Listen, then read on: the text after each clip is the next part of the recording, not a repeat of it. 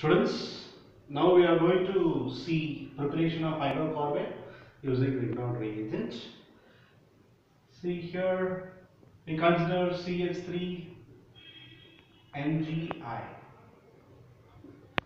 which is treated with water, and second one any of alcohol, and third one alkyl. See here, propyne.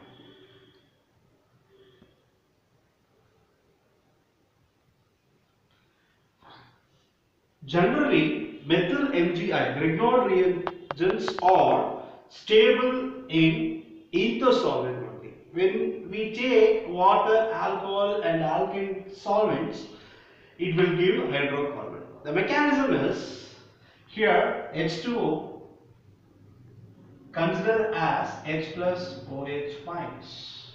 Like that here H plus RO minus.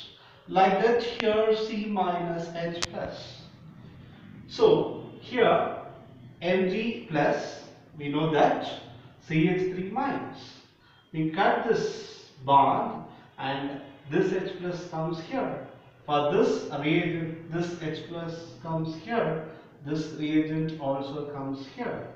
So all the three reagents gives methane hydrocarbon and the byproduct only different.